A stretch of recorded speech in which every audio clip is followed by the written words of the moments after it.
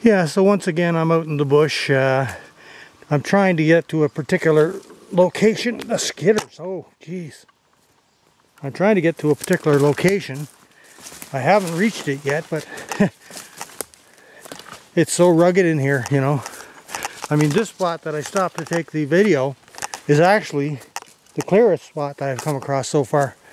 So I can't take videos when I'm in the really rugged sections. Uh, yeah, it's not easy. That's for sure.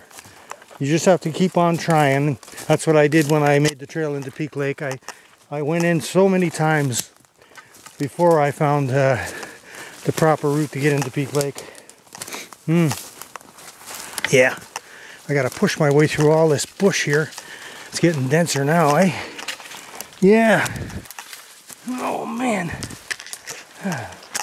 I've been using my uh, GPS a little bit more this time because you can see why. Once you get in here, you can't tell which direction you're going in. So that's why I have to use the GPS more. Uh, I'm just going to stop here and check the GPS once more. I'll turn the video off. Look how dense it is, eh? It's crazy.